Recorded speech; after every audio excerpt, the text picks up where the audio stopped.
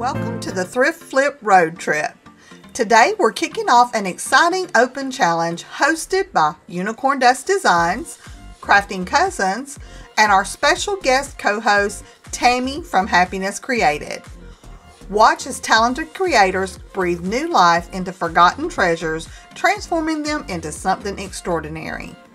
November is Subscriber Appreciation Month, and as a thank you for your amazing support, we're giving away fabulous prizes to nine lucky winners. Here's what you could win. A box of craft supplies from Crafting with Indiana Jones, a deluxe easy bow maker from Buckeye Girls Lifestyle, a Creative Memories card kit from Creative Pages with Catherine, cordless electric scissors from Crafting Up a Storm with Shar, a hobby knife set and self-healing cutting mat from Happiness Created, a brayer set from I'm Merely Melissa, a $50 Amazon gift card from DIY with Aria, a $50 Amazon gift card from Crafting Cousins, and a $100 Visa gift card from CJ DIY. To enter, watch the November Thrift Flip Road Trip playlist and comment on your favorite project from each creator. Remember, you must leave a comment on every video in the playlist to be eligible to win. Mark your calendar for Saturday, November 23rd when we'll announce the winners on our community tabs. Due to shipping costs, this giveaway is open to U.S. residents only. Don't miss out on your chance to win. Follow the playlist in the description box below and spread the love. Wow, did you hear that? We will talk about that here right after this first DIY. Welcome to Maxine Loves Crafts. I'm so glad you're here. So I found this first picture. I don't know, I've had it for quite some time. It says $4.99. That's probably about what I paid for it. I'm almost positive it was $5. But for a frame, you know, it's already framed. It's a beautiful picture. I really liked it. So I've had it in my stash for a while, and this was the perfect project for it. This um, North Pole Express, the train, I love this picture so much. It's from Essential Stencils. Now, Tammy from Happiness Created is the one who really got me started on these. She had sent me one um, this past summer, and oh my goodness, I love it so much. If you want to know anything about them, definitely get a hold of her. She is the one who is constantly buying these and using these and making the most beautiful projects with them. And I'm so glad that she has turned me on to these. So, like I said, this is the Polar Express. It's a train. I think it's stunning. And I'm going to, I had to cut it into pieces to make it fit in this frame. So that's exactly what I did. And so the first step is to, you know, figure out am I going to be able to create it exactly like it was printed on here? And I absolutely do by cutting it down. Don't be afraid to cut these.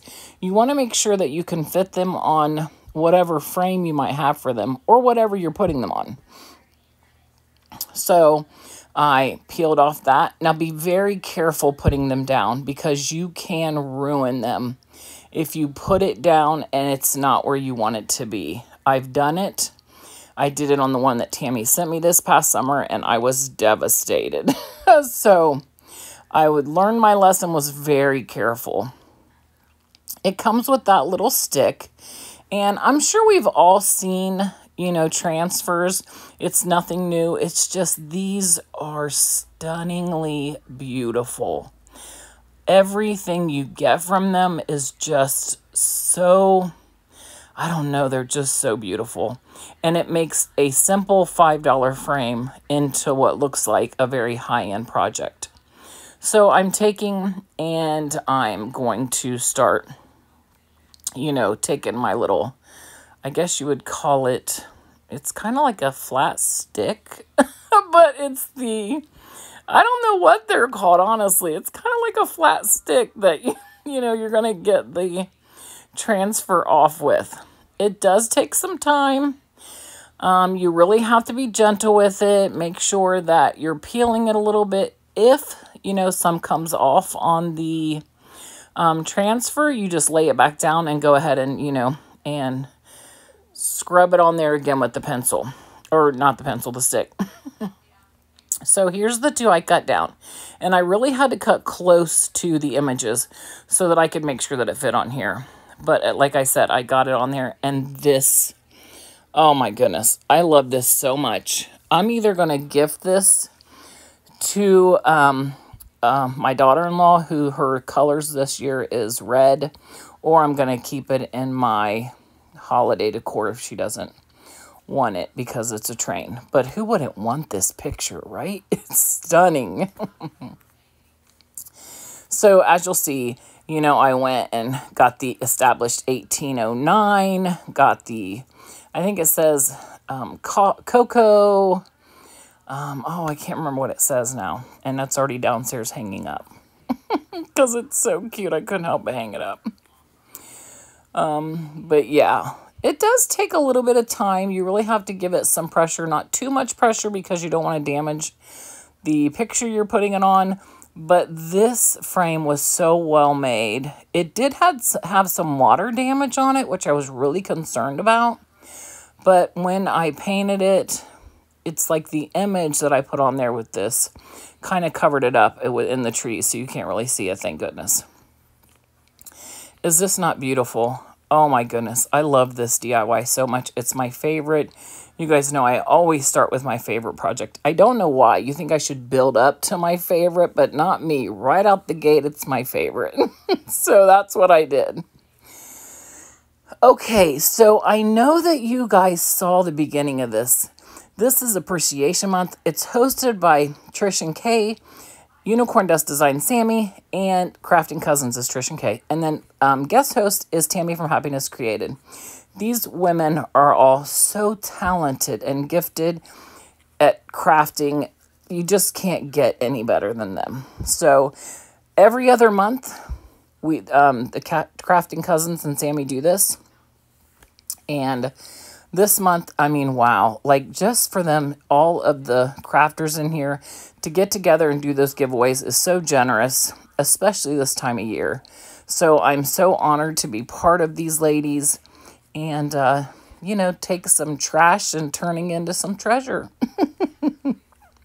okay, so thank you, ladies, for including so many of us crafters in this. We just love this playlist so much.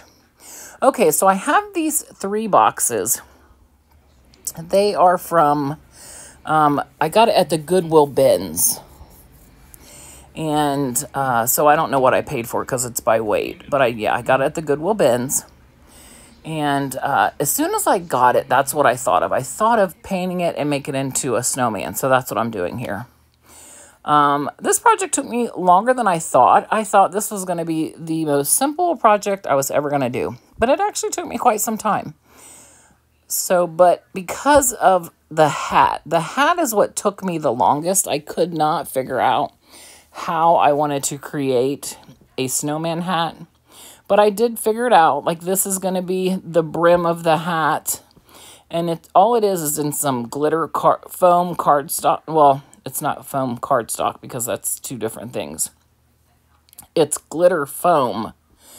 And um, I, it's, you know, it's sticky on one side and then glitter on the other. So what I like about it is that I can put a hole right in the middle and then stick that right on top of my top, you know, box.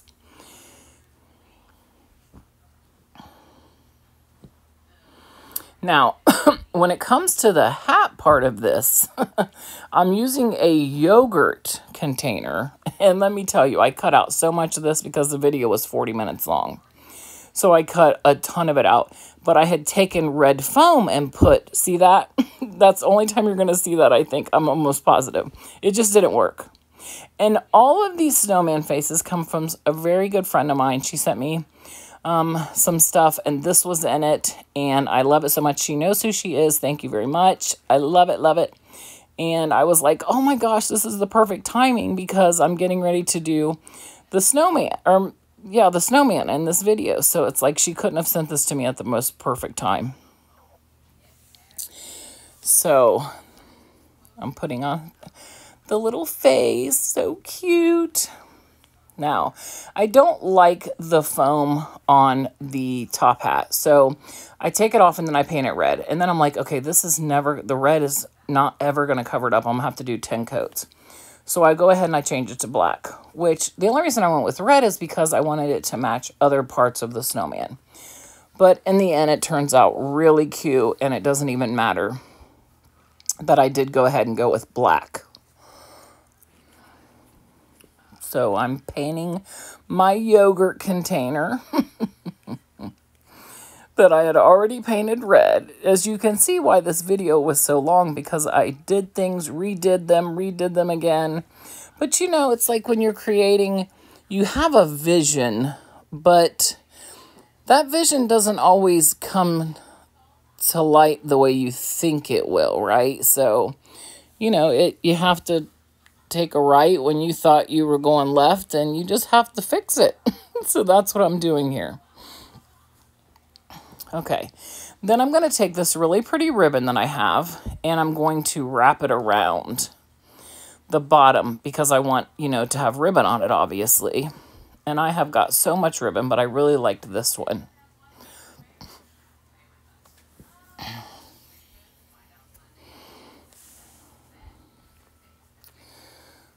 Can you guys believe we're so close to Christmas, y'all? It's like, it's, I think, 39 days away already. And I feel like I just got started crafting and it's already almost over. I'm like, I can't believe that it's already almost over. Oh, time is flying as I'm aging, I'll tell you. Who's with me? Who feels like time is flying as you're aging? Okay, so after I get my um, ribbon around there, the way I want it. Then I have some totally bedazzled jewels that I've had ever since I started my channel, what, three years ago, I think? I had bought like a great big bag from her, which I still recommend these. I love them so much. And I'm going to put one on the scarf and one on the hat. What I didn't realize when I was trying, when I was fighting with the jewel to get it on there, is that I had it so close to where the seam of the ribbon comes together, but you really have to be looking at it so well to notice that I've made that error. So it's like, you know, I just don't even worry about it.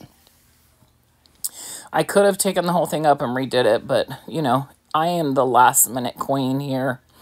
And it is, you know, the videos are going up in I don't know, 40 minutes and I'm just not doing my voiceover. So, you know, what are you going to do, right?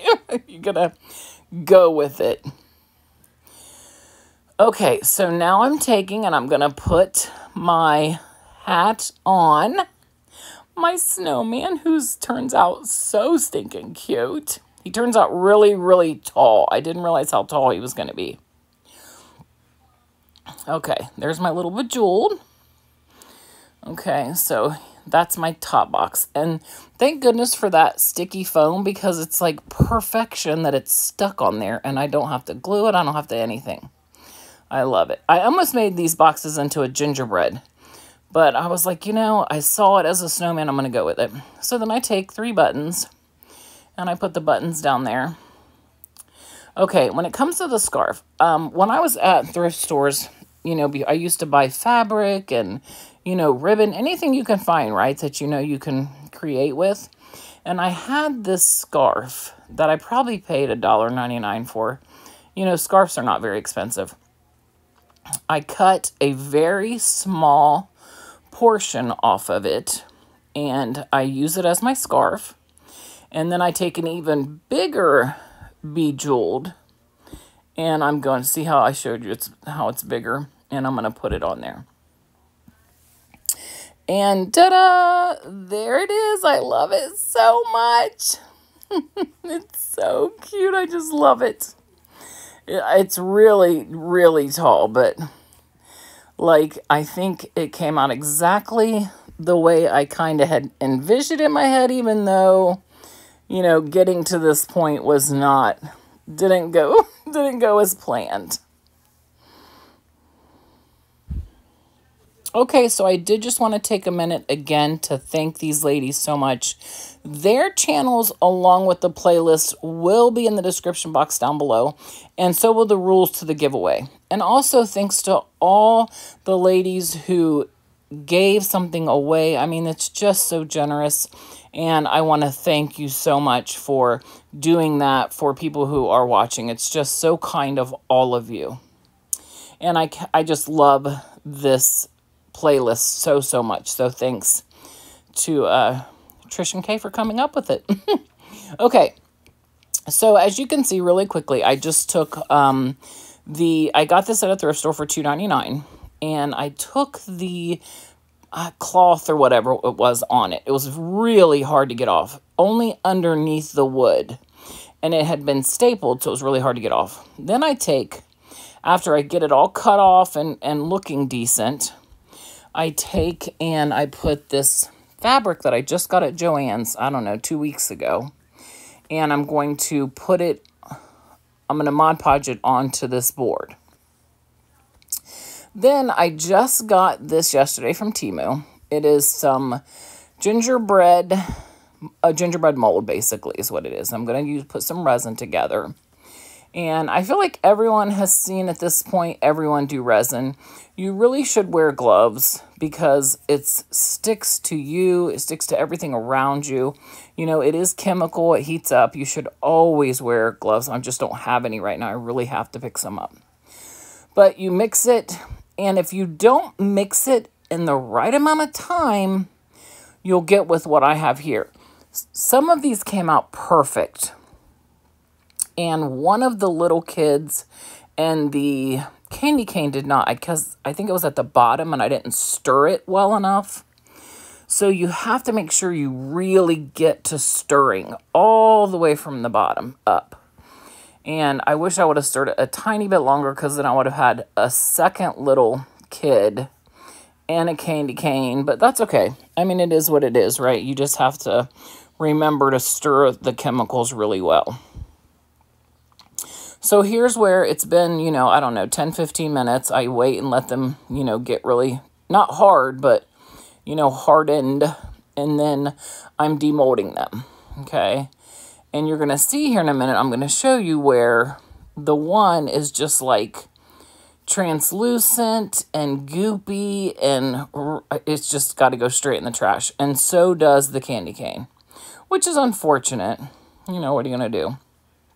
But I've done this one other time, so I really need to pay attention to make sure that I'm stirring. And maybe it's just that I'm doing too much at once. Maybe that's what it is because I'm trying to fill so many molds. So maybe I need to not do as much of the A and B that you put together. Maybe I need to do smaller batches. But it's like you just want to make sure that you don't run out in the middle of a, a larger mold, right? Anyway, if you guys haven't tried resin, I really recommend it. It's not as hard as I thought it was, and I really enjoy it. You know, there's so much you can do with resin. You can do clear resin, colored resin. You can add, you know, when you do clear resin, you can add stuff to it. It's just amazing. I really enjoy playing with resin. Okay, so now I'm going to take, and normally I just take my resin pieces, and it's such it's so hard to get them detailed painted, you know, to get the paint in the details. And But this I thought, you know, I'm going to really try. So I start with the hazelnut, you know, getting all of them and their faces, their arms, their legs, all painted in hazelnut. I do do their um, clothes they have on as well. And I actually get them all painted pretty well. I was actually pretty impressed with how well they um, did get painted. And this is just what I'm showing you right now.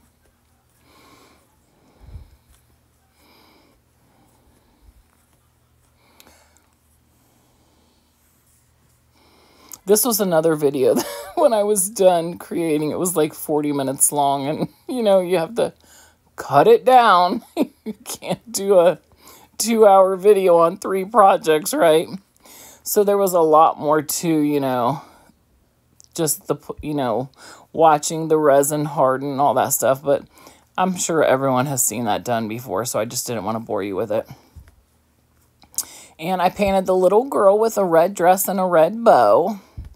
I painted the mom in a pink dress. And the dad, I put him in a really pretty um, green shirt with pink accents and black pants.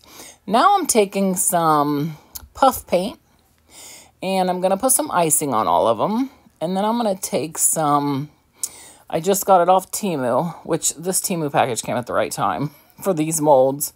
And for my little um, candy that I'm going to put like on top that I'm trying to get to stick there.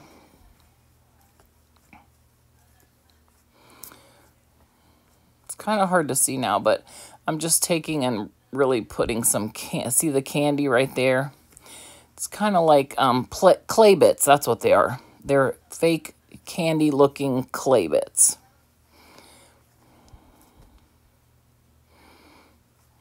I do let this dry for a little while before I put it onto the picture.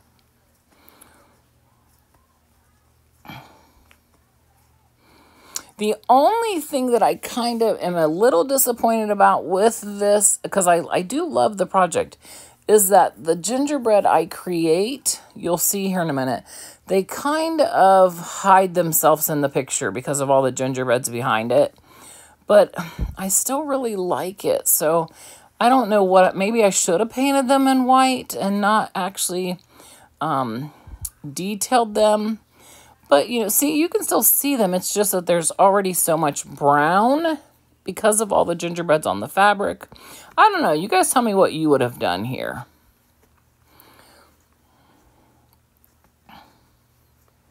This already has a hanging element on it, so I can hang it on the wall in my kitchen, which is going to be gingerbread. So I put the mom, the dad, the little girl, and the dog. And it's so cute. so, so cute. You guys, thank you so much for watching my video. I'm so grateful. Thanks to all the ladies for putting this amazing playlist together. And thank you, Tammy, for being the special co-host. And you guys have a wonderful, wonderful Saturday night, the rest of the weekend. Um, I think that you guys are all so amazing. And yeah, I'm so happy. If you like this video, please give me a thumbs up. And if you're not subscribed, I hope you'll consider subscribing. All right, you guys, happy crafting!